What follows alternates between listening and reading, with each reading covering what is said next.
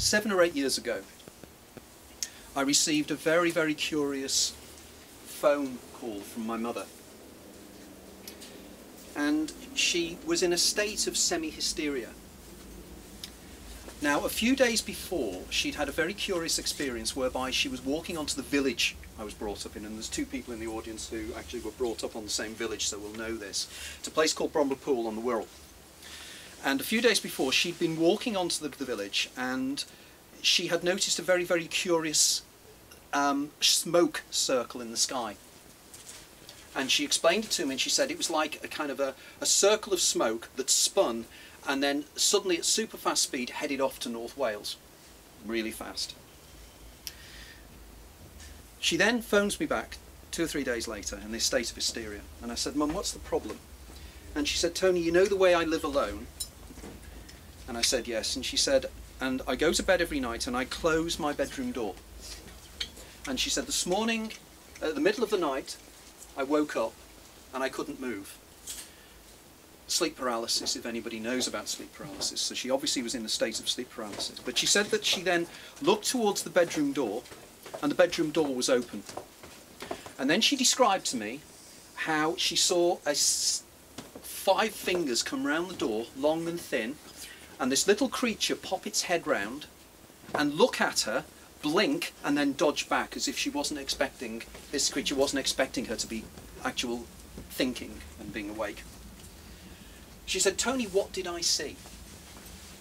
Now, my mother would not know a classic grey if it bit her on the bottom. She wasn't of that generation, she wasn't interested in any of these things, but she described in absolute, she said it had huge black eyes, it had two holes for a nose and a slit for a mouth. But what disturbed me was the way she said it reacted to her. It looked at her and it blinked and looked shocked. The description she gave is a very, very precise one and a very, very curious one. 19, in 2018, uh, in a place in northern India, they actually found some cave paintings that were 10,000 years old. They were underneath two small villages in northern India. The cave paintings depict, among other things, creatures coming down from the sky, and these creatures that had huge black eyes and two holes for a nose and slit for a mouth.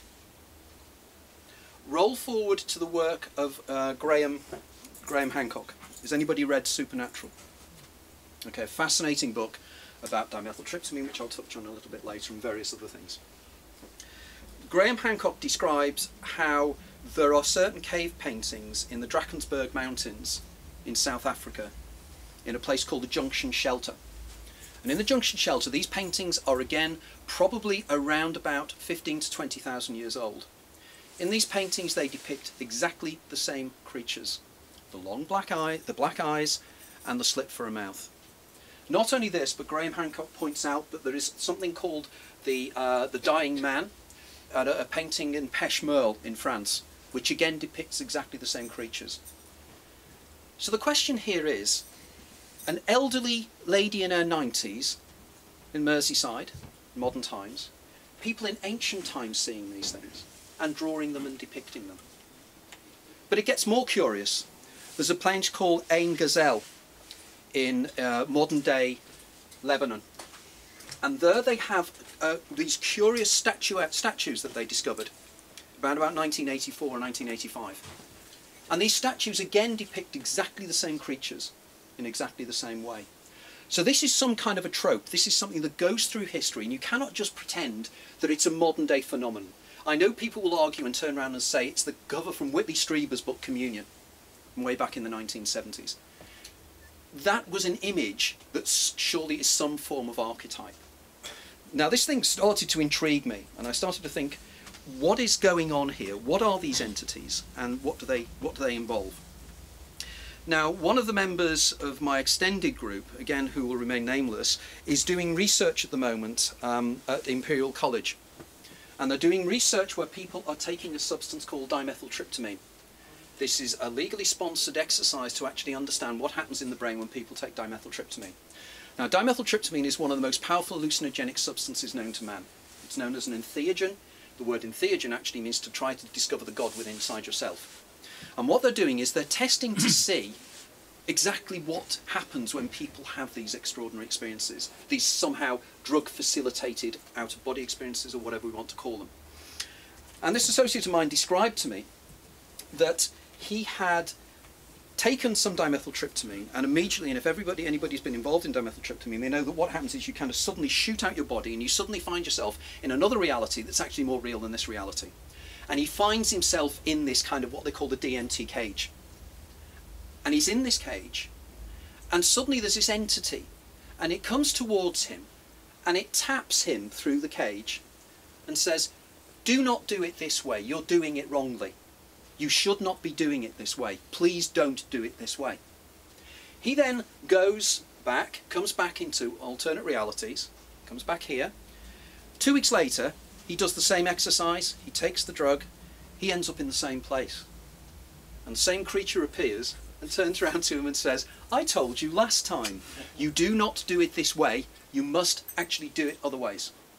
Now the question we have to ask here is, if this was just a part of his subconscious. This being seems to have independence of him.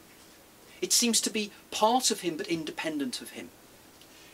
In my new book, this is what I'm going to be discussing. I'm going to be discussing the ideas that these entities seem to be part of us, but also seem to be alien to us as well. I call them egregorials. The reason I call them egregorials is that an egregore is a, a collective, when a group of people come together like we are, there is something that is greater than us because we are a group. It's, it's, it's been known for years when crowds get together, there seems to be a kind of an egregore that's created among them. When my little group meets up, we always discuss ideas and thoughts and we get excited in the ideas and thoughts. And it seems to be that something greater than us has been created. Now, what is taking place here is it seems to be that people's consciousness seems to be able to create something that is greater than ourselves. Now in the book I discuss not just as people who've read my books will know this, I don't just make these statements, I back it with science. And I'm particularly intrigued of the implications of these concepts of egregorials and egregorial ideas and egregorial thoughts with what we know about quantum physics and something called the collapse of the wave function. Now in quantum physics, as you, you may or may not be aware, is that subatomic particles until they are measured or observed, do not exist. Seriously, fact. What they are is what's called a, a probability wave. What that effectively means is that it's a probability wave that a subatomic particle may be found in one location or another location. And depending upon the act of observation or the act of measurement makes the subatomic particle change from being a probability wave to being a point particle that's located in three-dimensional space. But before it is observed or before it is measured, it's nowhere. Now, could this be what reality is? Could it be that what we do is collectively we all here are observing and measuring this environment around us? We create what is called consensual reality because we all agree this is what the consensual reality should look like. It's a collective thing. Could it be that under certain circumstances other things can be created that can actually use our ability to create the world around us and actually manifest themselves in certain ways. And in this ways I'm reminded of the writings of a lady called Alexandra Néel, who was a, a French-Belgian lady in the 1920s who spent a lot of time in Tibet. And when she was in Tibet, she created what she called a tulpa, which is a thought form. And what they did was they decided that they would create this um, little monk, nice rotund little monk, and that the entity then started to come into three-dimensional reality. And it used to follow them round. But then it started to gain independence of them, and it started to get quite malevolent and quite nasty. And in the end, they had to work together to actually destroy this, this entity because they brought it into existence. Famous case that is very, very similar took place in Toronto in the 1980s when a group of researchers were playing with a Ouija board. And they decided to test whether the, the, the, communications they were getting were actually a creation of their own minds or not. And what they decided to do was to actually create a backstory that was totally fictional of a young man who was living in 17th century England. They gave him a name, they gave him a location and everything. This entity then started to manifest itself as if it was independent of them. So yet again we have this feeling that we can actually create in some way or other something that is outside of ourselves but seems to be independent of ourselves. So the term egregore is the term I use. I also suggest that egregores probably exist in what I call the pleroma. Now the pleroma is a Gnostic term and it is the, the reality behind this reality. The place that you can go when you're in altered states of consciousness.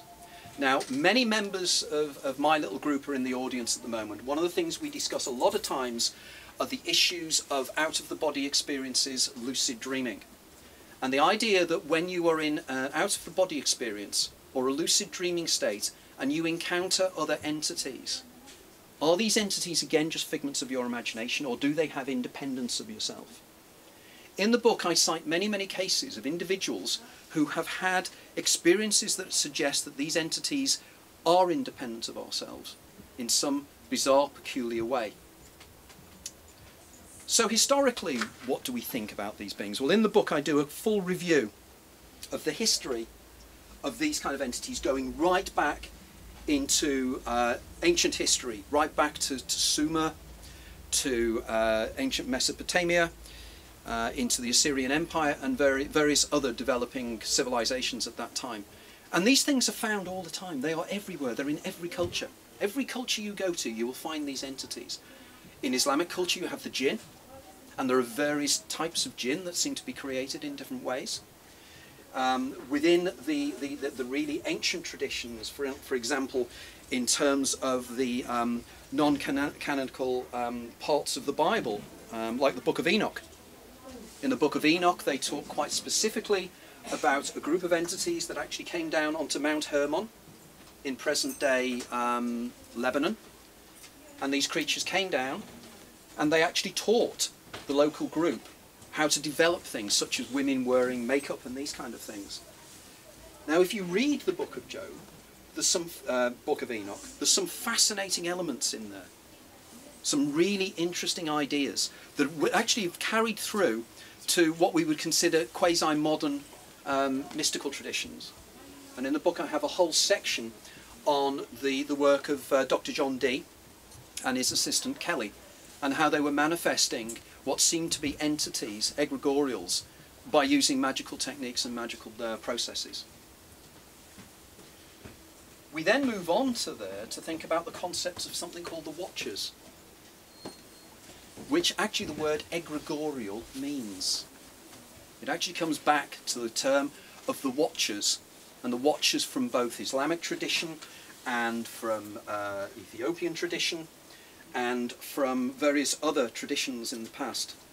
So it seems that these entities seem to have some kind of dynamism about them.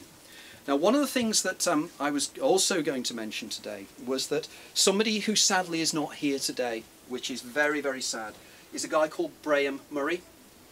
And Braham became a good friend of mine over my one of my previous books on uh, the writings of J writings and life of J.B. Priestley. Braham, in his autobiography, anything that can go wrong will. Braham was a top, um, I think he was the youngest British director who had um, a play on Broadway in the 1960s. And he describes a day in 1969, and I'd love to believe the coincidence and the synchronicity that it was actually today 50 years ago. Because he describes how he was wandering through London and he came across a beautiful esoteric bookshop. And he went into the bookshop and he bought one of the, the volumes by Jung. And he read, he, after this, he read this book and it fascinated him so much. But what happened was, when he got home that night, he was phoned up by an associate of his. And the associate turned around and said, there's a guy called Arnold Herningstadt who's flying in from Oslo uh, and I'd like you to go out to Heathrow and pick him up. Braham goes and picks the guy up, brings him back, and over the next few days they become quite friendly. And one day they're having a discussion. And Braham says, and he's talking about the essence of evil. What is evil? Is evil tangible? And this guy goes, it is the beast. And he said, the beast is over there. And Braham says in the book, and he told me this many, many times, he said he looked over and there was a chair. And this entity appeared in the chair in three dimensions. And it, it was almost like the Gorgon. It had sort of uh, snakes in its hair and it looked at him and then turned around and then faded and disappeared. And in the book I mention this and I say, this is intriguing. What did Braham see then? What was created in his mind? Was this an independent entity? And I'd like you to think for a second about this. You could turn around and say it was an hallucination. But think about how hallucinations work. There are two hallucinations taking place here, aren't there? There's the hallucination of him seeing the creature in the chair, but there's also the hallucination, the fact of taking out information. Because if I hallucinate you there sitting in the chair, I cannot see the chair behind you. So the chair behind you has taken, been taken out of my consciousness field, as well as me seeing the hallucination. Now this is a fascinating idea. It's called a metachoric model. And Celia Green was one of the people that actually worked on this, and the idea that hallucinations are far more peculiar and powerful than we believe them to be. So the question is again, there seems to be something there that's expanded into three-dimensional space that seems to have independent existence of your consciousness. What I suggest is, is that in some way, again, and it's an area I'm thinking about for a future book, is that these entities seem to be able to create something from our fear. They seem to feed on fear. They seem to be aware if they can frighten you, it seems to generate something within themselves. So this is where I'm going with my writing at the moment. In terms of my overall philosophy on this, I genuinely, when I started writing the book, I really wanted just an explanation for my mother's experience. Now, some of you will know and will say that there is an explanation for this. It's called Charles Bonnet syndrome. Has anybody come across Charles Bonnet syndrome Okay, Charles Bonnet syndrome was actually analysed by a guy called Charles Bonnet. It's always fascinating, isn't it, how these people find things that are named after themselves. It's real synchronicity and coincidence. Charles Bonnet noticed that his grandfather, Charles Lullin, when he was in his 70s, started describing seeing these strange creatures, and he would sit there and he would see beautiful women walking through his, his living room with huge hats on. It is, recent, it is now known that a, it is a pre, Charles Bonnet syndrome is a precursor for Alzheimer's disease. And one of the things that happened with my mother before she saw the alien was she called on me one day. Uh, I called round to see her, and she said that um, she turned around to me and she said, "The little children have stopped singing. They don't sing anymore to me." And I'm thinking, is she letting children in from the house? You know, what, what's going on here? And she said, no, no, there's children. They're little children and they follow me round. And they laugh and they giggle and they, they, they, they're happy people. And she said, they're not quite as friendly as the old man in the kitchen. He's very, very friendly. And I'm thinking, is she letting people into the house? But this is part of Charles Bonnet syndrome. But what intrigues me here is the little children, the size of the, the, the creatures that people see in Charles Bonnet syndrome. And it's not just to do with elderly people. People that get classic migraines sometimes see these things as well in part of their um, pre-migraine aura. There are also people who experience temporal lobe epilepsy that seem to see these things. And there seems to be a link between this and shamanism. And in the book I have a whole section on shamanism, including some people I know who are practicing shamans who have explained to me exactly what is going on in these circumstances. So what we seem to have here is something quite strange and something that again goes through history and the other area of the book I really focus in on is the little people, the fae, the fairies, the, the, the, the little creatures that people have reported throughout history. What are they? They're universal. You find them in most cultures around the world. These creatures seem to have independent existence again. They seem to have a degree of malevolence, but also a degree of support for human beings. And people, again, experience these things when they take mind-altering substances such as dimethyltryptamine. As Terence McKenna said, you know, they are the machine elves. You take DMT, you see elves. Everybody sees elves. It's what they see. But why do they see elves? I want to dig a little bit deeper. I want to know what it is. What are these archetypes and why are they there? What is it telling us neurologically about the way the human brain works? The archons uh, uh, really fascinate me. Uh, just for everybody who, who's not into Gnosticism, archons. The example I always like to give is if you watch the movie The Matrix. Agent Smith is an archon. It's kind of a creation to manipulate to keep us controlled within this environment. Did you say they're artificial intelligence then, or It's, it's an interesting point again, and it's one of the questions that I try to, to, to answer in the book is if they seem to have independence of existence of ourselves and they seem to have motivations that are different to ourselves, it suggests that they are independent of us. It suggests that they have ulterior motives.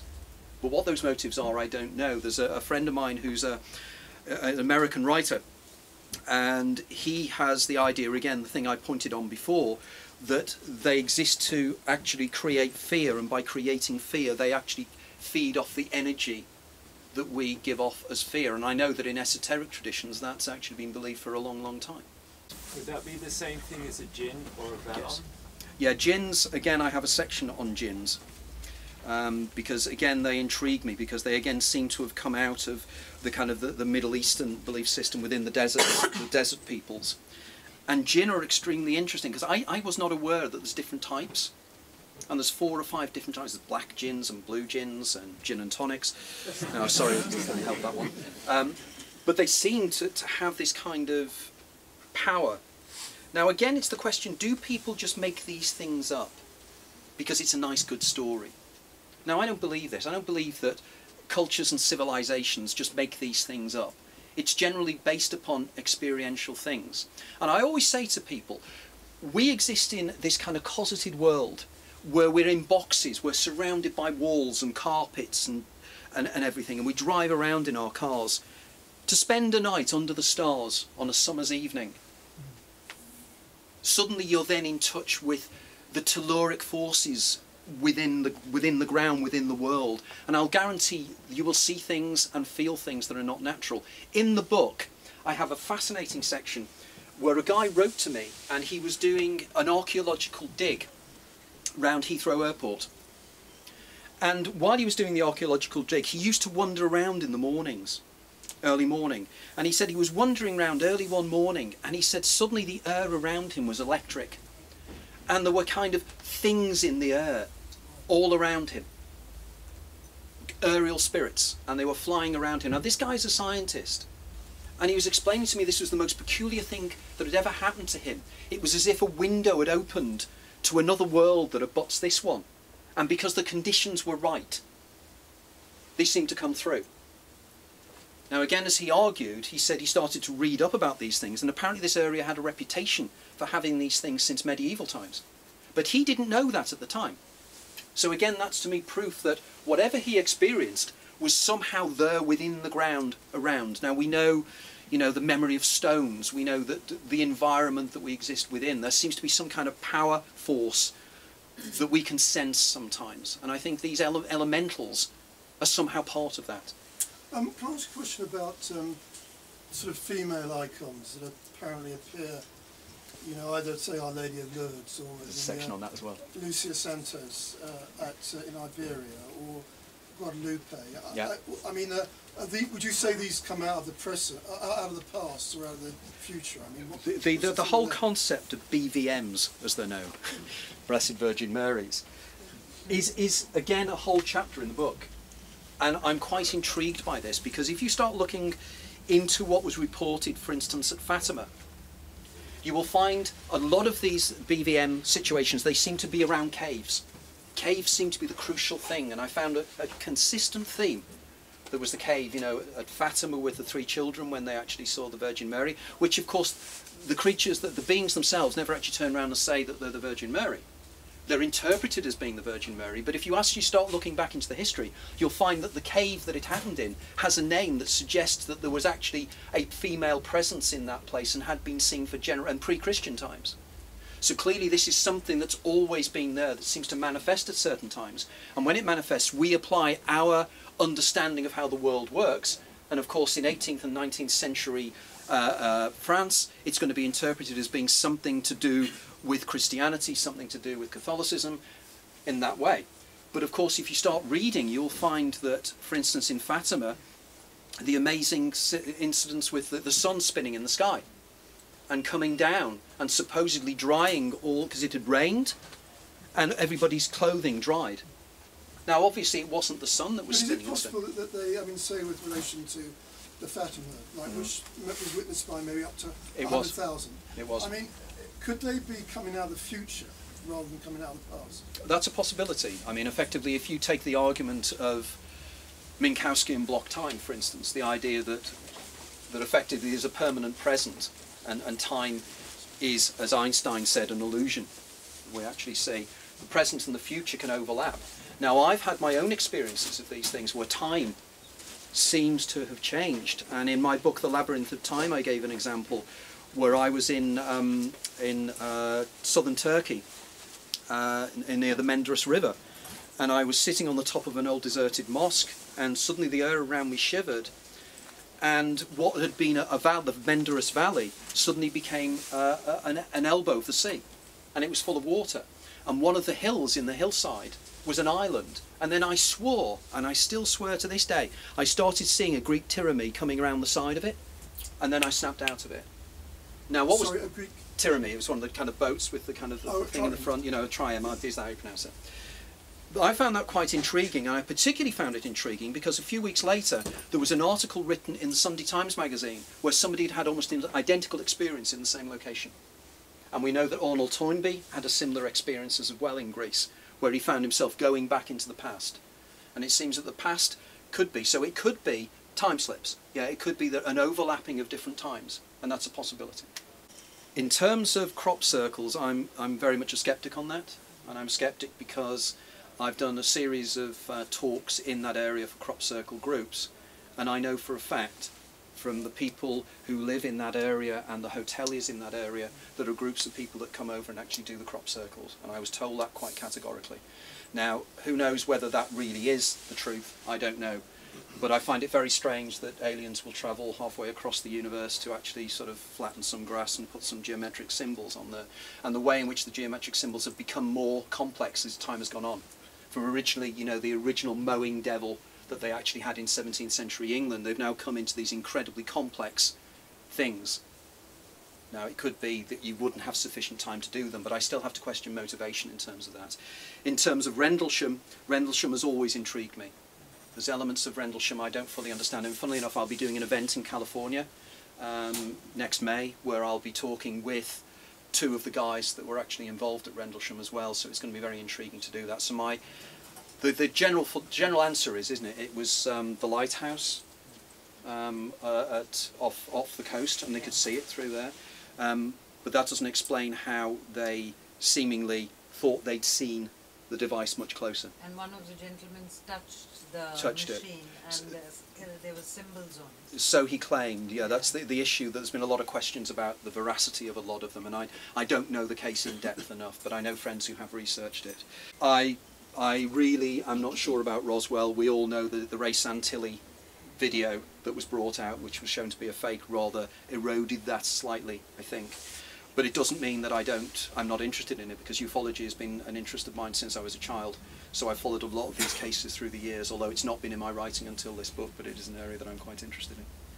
I do indeed, and I think just uh, in terms of just an explanation, the Julian Jaynes bicameral mind was the idea that um, up until a certain point in time, our brains were not were, were singular rather than bicameral. There wasn't two sections to the brain, and he uses analysis because there is no concept of self when you read the Iliad and books like that. It's always the voice of the gods that are actually telling people to do things, and that was because we were hearing our own inner dialogue and interpreting it as being the voice of the gods. But it does seem to me that ancient civilizations seem to have had something we don't necessarily understand yet in terms of form of communication and understanding of their natural environment. I've, in previous talks, I've always used the analogy of if somebody in Victorian times dug up a, a CD-ROM, they would have no idea, they would just think it was a mirror or something that reflected things. And I sometimes wonder that things that we discover and ancient artifacts that we discover that we misinterpret because what we do is we impose our own values, our own interpretations, our own culture onto that and say, oh, it's self-evidently what it is. The Antikythera device is one example, for instance, that was discovered in ancient Greece. We're not quite sure what that was about or what it was for, but it obviously is an incredibly complex mechanism. Clearly, I think our history goes back far further than we understand. I mean, water damage on the side of the Sphinx, for instance, gives our examples, the Robert Schoch ideas. So clearly there is something here, and I know that our groups were very, very interested in getting to get to these these these strange ideas. I mean, for instance, we did an event um, last last April uh, at the Drakelow Caves in um, in Staffordshire, where we tried to recreate the whole myth of Plato's cave, and we're planning to recreate this again in the future because we believe this gives people the opportunity to actually go into a cave-like environment in the darkness to actually start to appreciate and to tune into your own something else. Now, I argue in the book that there is so much evidence of people that seem to go into caves. Caves seem to be the standard thing. I mean, there are there are tribes in Latin America, and what they do is the children are put in darkness for the first six or seven years of their life, and I believe this is to generate melatonin. It's to make melatonin be generated more effectively within the brain because I argue, and I've argued in previous books, that melatonin in the brain can be synthesized from melatonin into what we call metatonin, which is endogenous dimethyltryptamine.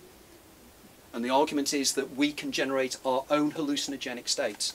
And as Rick Strassman has said, one of the major writers on the subject of dimethyltryptamine, he has argued that dimethyltryptamine is in fact our reality regulator that the reason we create this external world is because the dimethyltryptamine within our brains is actually creating this external world in one way or another, which then comes right back again to the point I was making before about the researchers at Imperial College, because here we have people who are going out of body experiences into alternate realities, experiencing entities in those circumstances, and coming back and bringing back the information from those entities to me, this is evidence that there is something very, very peculiar going on in terms of the human brain. Are there books on this? Hmm? On this? Are there books on this? Oh, oh yes, yes. I mean, my own book, uh, uh, Opening the Doors of Perception, deals with this. But there are also people in the room who are involved in this research, because, you know, I'm not going to point people out, but there are people involved in the room who are involved in this. And it's really intriguing stuff. And I think what it's doing is it's changing the paradigm. We're at the point now where suddenly these things are breaking through. They're breaking through into the zeitgeist, people are writing about them, people are making movies about them. It's time that we started to realise that the label theory of science does not work anymore. We have to understand exactly what we mean when we say somebody is hallucinating. We have to understand completely when somebody goes into a lucid dream state, sees somebody in that lucid dream state, sees that person in consensual reality, and they both share the same experience, and they share it with each other. The only reason we believe this reality is consistent is because it's consensual. In other words, I turn around to you and I say, that book is black and it's called Black Mirror. You all agree. That's consensual. But what if a circumstance when you're in an out-of-body state, you meet somebody else and you both see the same thing and then you come back into this reality and you agree that you saw the same thing? That means it's just as real as this is. I call it electromagnetic chauvinism. And I'll make one final point about electromagnetic chauvinism and an analogy, which I put in one of my books. The Mississippi River starts in a very small place in Minnesota. It then goes all the way through the center of the United States till it comes out in the Gulf of Mexico, 3,000 miles or whatever. If that was equivalent to the electromagnetic spectrum from radio waves to gamma rays, the world we think is real is the visual world of natural light, of light. The whole world we believe is real is one and a half inches, eight miles south of Hannibal, Missouri. Thank you.